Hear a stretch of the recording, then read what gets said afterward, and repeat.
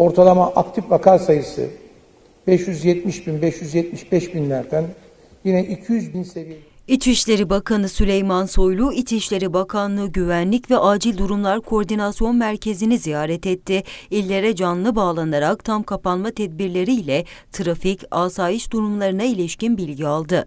Alınan tedbirlere vatandaşların uyduğunu belirten Soylu, milletin fedakarlığına müteşekkir olduklarının altını çizerek aktif vaka sayılarının 570 binlerden 200 binlere düştüğünü ifade etti. Ortalama aktif vaka sayısı 570 bin, 575 binlerden yine 200 bin seviyelerine düştü ki bu da 1 bölü 3'lük bir düşüş demektir. Yani üçte birine düşüş demektir.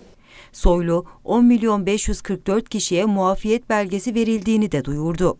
10 milyon 544 bin 980 kişiye e-başvuru üzerinden, e-devlet üzerinden çalışma izni belgesi verildi.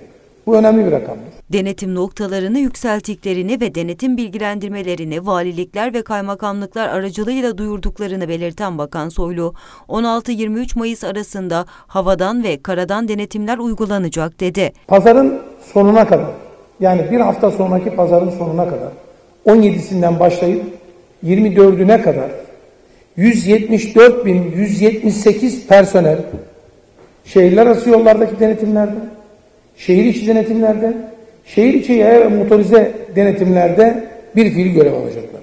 Eğer bayramda meseleyi aynen kurallara uyabilecek bir şekilde değerlendirebilirsek, bayramın sonunda Allah nasip ederse inşallah bu fedakarlıkların karşılığını görebileceğimiz bir kontrollü normalleşme dönemine doğru adım atabilme kabiliyetimiz hep birlikte olacak.